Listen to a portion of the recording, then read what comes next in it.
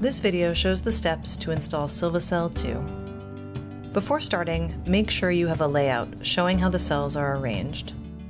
When determining the length and width of the excavation, be sure to allow for spacing between the cells and the oversize needed for compaction around the outside. Make sure to have an accurate section detail for calculating the depth. Excavate to the specified width, length, and depth, and then compact the subgrade. It's the responsibility of the owner to verify that the subgrade and subbase are constructed properly. Place the geotextile fabric along the bottom of the excavation, then add the subbase aggregate and compact as specified. Mark the inside dimensions of the tree openings. Then, lay the bases out starting around the tree openings and working outward. Bases should be 1 to 4 inches, or 25 millimeters to 100 millimeters, apart. Once the bases are laid out, use the included pin assembly to secure them to the ground. Attach posts to each base by inserting them into the cup and twisting until they lock into place. There are six posts per base. Once all the posts are attached, wrap the geogrid around the outside of the system and attach it to the posts using one zip tie every other post. Do not line the tree opening. Attach the strongbacks to the first area of cells you'll be filling.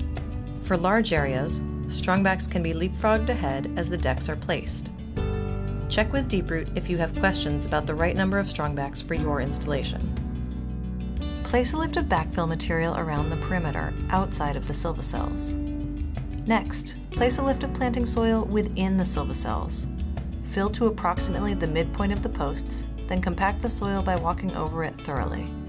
Compaction equipment is not required within the Silva Cells. After placing the first lift of planting soil, use a whacker or J-style compactor to compact the backfill material placed around the outside of the Silva Cells. Add backfill material and compact as needed until it is approximately the same height as the soil in the cells. Start the process over by placing a lift of backfill material around the outside perimeter. Then place the second lift of planting soil inside the Silva Cells and walk over it again thoroughly. If installing a 3X system, remove the strongback, attach the 1X post, and then reattach the strongback. Compact around the outside perimeter and place a third lift of backfill. Then, place the third lift of planting soil in the Silva Cells and walk over the soil thoroughly. Top off the planting soil until it's flush with the strongbacks. Then, remove the strongbacks, level the planting soil, and attach the decks. They should snap on smoothly. Once the decks are in place, fold the excess geogrid over and secure it with zip ties. Finish placing backfill and compacting around the perimeter until the backfill is even with the top of the Silva Cells. Then place the geotextile fabric over the decks. Install the aggregate base, then the final paving. Remember that no vehicles should drive over the Silva Cells until the final paving is in place. Root barrier is an important component of the system.